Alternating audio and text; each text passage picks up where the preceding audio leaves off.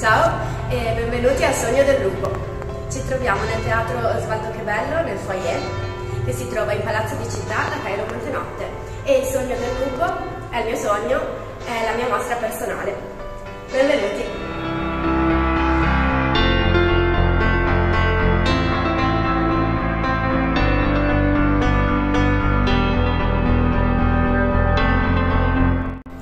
La mostra è composta da tre stanze, tutte a tema con il sogno del lupo, con la favola che ho scritto.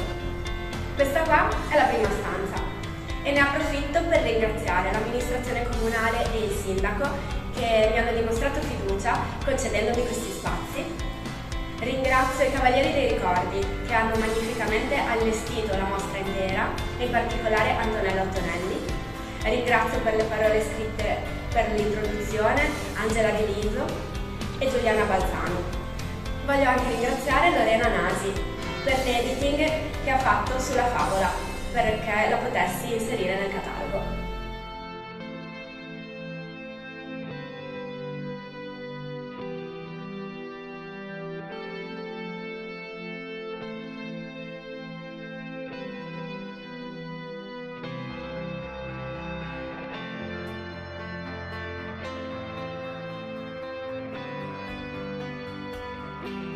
Questa è la seconda stanza.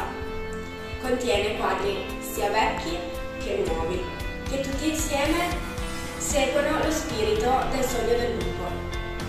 In particolare troviamo anche una piccola raccolta di opere che ho realizzato fuori di qui, che non potevano entrare. Si tratta di murales, di decori sulle porte, in giro per la Liguria e anche fuori. In questa stanza vi parlerò del catalogo sì, perché ho deciso di fare un catalogo per la prima volta. E in particolare perché contiene la favola del sogno del lupo combinata insieme ai quadri e quindi il visitatore può portare a casa con sé un catalogo che non è un catalogo ma è anche una fiaba illustrata, una favola illustrata e può leggerlo e farne tesoro.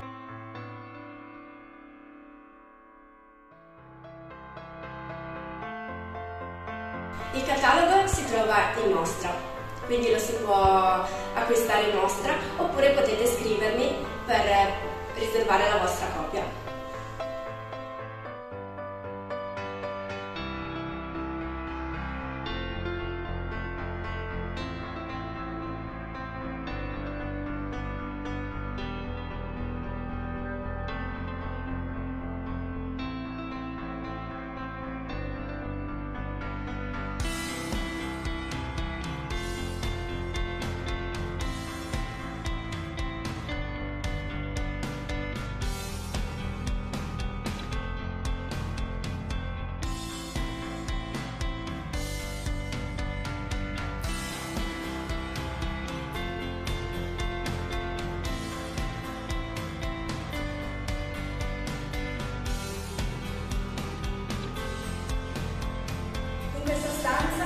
troviamo i lupi.